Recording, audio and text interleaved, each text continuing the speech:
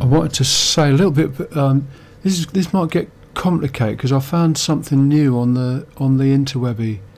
This this machine isn't isn't really connected, and I, I can't tweet at the moment for other reasons. But I've I've checked out a few things. Um, Kendal Castle, the ruins of the Fortress University, has got two seats just outside it. Um, on the south side, there's a there's a marketing kind of seat, um, but Scott Galloway isn't isn't saying isn't saying anything at the moment. I sort of base the characters on real characters, but later on, if it becomes a, a, a proper play, I'll have to develop the characters a bit, or I'll have to find somebody else to, to do it. Um, in, when there was um, a, a fringe festival of uh, theatre event in the first one, um, Downstage Right were prepared to write a play for you for a pound. It wasn't wasn't a very long play, but I may have may have to ask them again to do do something. But I, I'm still working on on versions of uh, a play set in the ruins of the Fortress University, and Ken, Kendal's definitely the setting for it. Um, but S- Scott Galloway seems to have forgotten about learning and universities and so forth. He wrote, he wrote a book during the during lockdown um, about all the all the changes that were going on. Some of it still comes into his podcasts or his um, it's, it's not a podcast because it's on video. He, do, he, do, he does basically stock. He follows the stocks, and all the ed tech ones have collapsed, and there's no sign of anything else happening. Um, so, by the way, there, there, there's lots of good reasons for academics to have doubts about jumping into all this stuff. Um, but anyway, on the other side, on the north side, there's another seat because there was a siege. Part, part of the, the early part of the, the play about the ruins starts off with a siege. So there are there's loads of people inside the walls who are carrying on as normal, but these these people doing talks outside the walls. Um, so one of them was was about the marketing of it all and the costs. Um, but the one the, the techie one, this other seat, Do, Donald Clark was my model because he he's been right, publishing books about artificial intelligence or um, interfaces, user interfaces, engagement. There's various various words for it, um, but also doing a blog, and I think that's although the siege failed, you could say after after lockdown on, on for you for the UK campus in general, and just guessing from Exeter what you can make out, and other places you can see, ev- everything went back to normal. Um, the siege failed, in other words, um, but artificial intelligence has sort of come back. I think it's being taken quite quite seriously. So I, I've sort of imagined that reviving. Quite what the sequence is, I I'm not sure. Got got to got to work that out.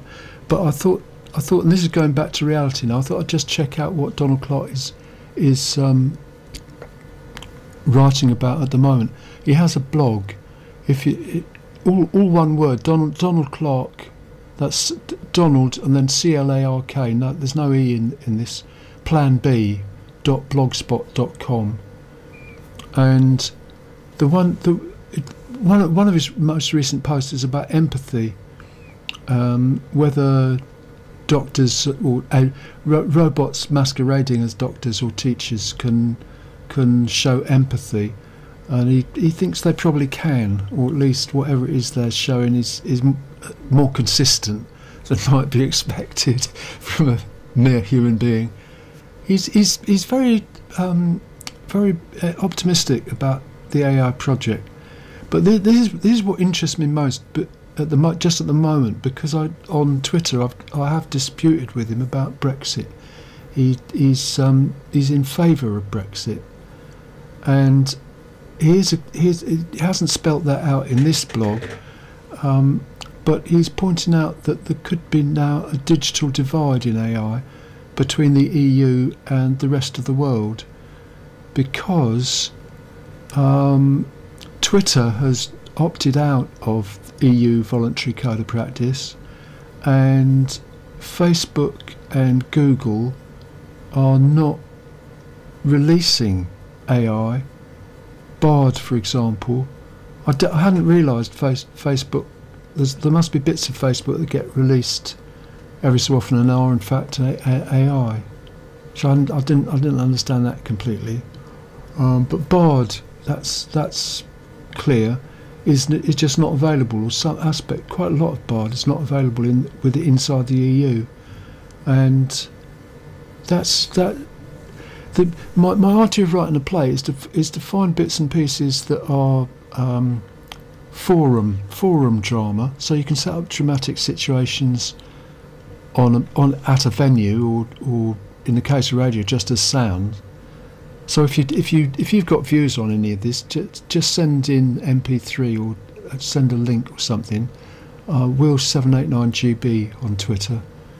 Um, uh, you may end up in my play, which is Creative Commons at the moment.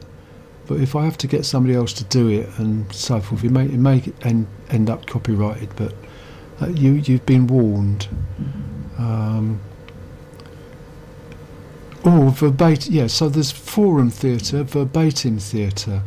So you, verbatim, you just take bits and pieces and put that in another format.